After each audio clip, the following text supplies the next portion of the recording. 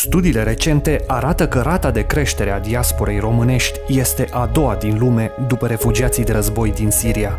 În acest ritm, populația României ar putea scădea cu 30% până în 2060. Artist emigrant este o serie de reportaje despre artiști români contemporani emigrați în străinătate. Sunt Sabin Dorohoi, regizor și producător de film și voi fi gazda dumneavoastră în această serie.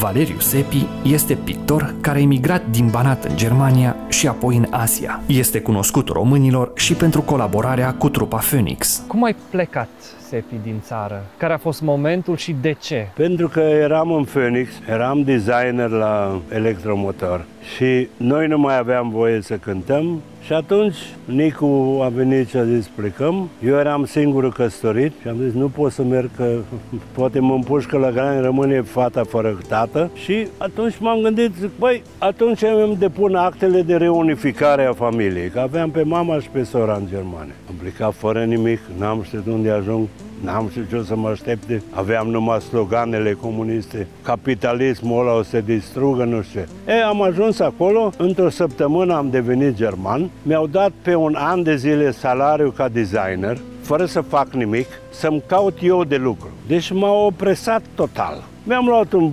microbus Volkswagen și m-am dus să văd și eu muzee și picturi originale. Și vorba aia, am văzut ce trebuie. Care a fost prima ta slujbă din, din Germania? Ce ai făcut? Am găsit de lucru la niște tipi care făceau niște filmări după machete. După aceea m-am angajat la o firmă de design și care au zis ne trebuie unul de ăsta care știe să deseneze, că toți erau pe computer. Eu nici acum nu știu să-i dau drum. Și dacă îi dau drumul, să opresc tramvaiele în Timișoara, îți spun eu acum. Dar m-am angajat că știam să desenez, le-am am dat o probă și gata. Din Germania am înțeles că ai plecat și altundeva. Păi da, prin, prin firma de design și ei lucrau cu firme de arhitectură din Frankfurt. Și ăia au făcut un joint invention și ei au făcut ca să construim muzeul maritim din Singapore.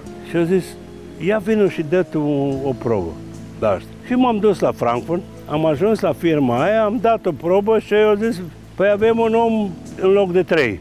Și m-au aprobat, și am ajuns în Singapore, unde m-am dus pe șase luni și am stat 22 de ani. Ce a determinat reîntoarcerea ta în țară? Sincer, aș putea să spun de prost. Ceea ce nu e adevărat, dar ca impuls, că mergea bine acolo, nu aveam nicio treabă. Cred că mi-au lipsit iernile, mi-au lipsit poate prietenii cu care să glumesc. Eu făceam glume cu chinezii mei la masă care le spuneam o glumă luni și ei râdeau miercuri. Eu i-am învățat pe chinezi ține Mircea Eliade. Deci m-am înțeles oriunde și oricând. Am fost și în Brazilia, și în Nepal, și în Laos, și în Cambodgia. Și... N-a durat o săptămână ca să nu fiu prieten cu comunitatea din jur. Ți-a fost dor de țară în tot timpul ăsta? Dor de locurile tale? De... Eu am trăit cu ele. De cât timp te-ai întors prin țară? Păi cred că sunt șase ani. Am venit și am făcut prima expoziție mare la Muzeul Banatului, nu? După aia am fost peste tot și în o mie de tabere și tot felul de acțiuni artistico-culturale și cu Fenixul din când în când, când erau chestii de aniversări, By the way, o să fie anul viitor 60 de ani de Fenix. Ca emigrant, ca străin, ai simțit vreodată că poate lumea se uită mai ciudat la tine sau știu, poate că ești discriminat, că ești uh, din altă țară, că ești emigrant? Să spun sincer, asta am simțit când am venit înapoi. Atunci când am venit înapoi, eram o personalitate extraordinar că s-a întors. După ce s-a întors, gata, asta e, s-a întors pe partea aia Nu poți să fii erou în locul tău. Asta e din proverbele românești. Ca și ăla cu românul e foarte înțelept. Vara își face sanie și iarna o pune pe foc.